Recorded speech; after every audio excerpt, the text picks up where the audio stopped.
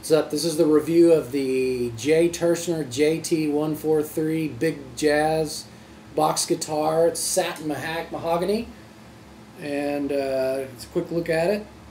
It's got a lot of nice inlays on it.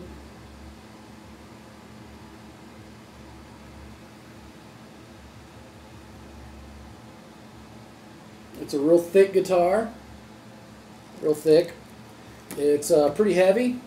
Uh, the neck's got a really nice action on it. It's a little low for my feel right now, but I'm going to put some big fat strings on it. Um, it's got the single pickup, as you can see.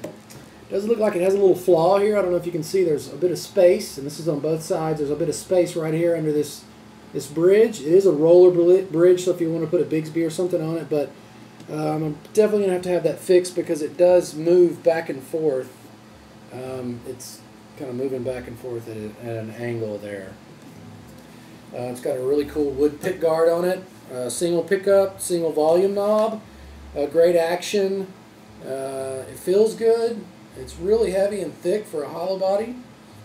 Um, plugging it in. So far it's got a nice good sound.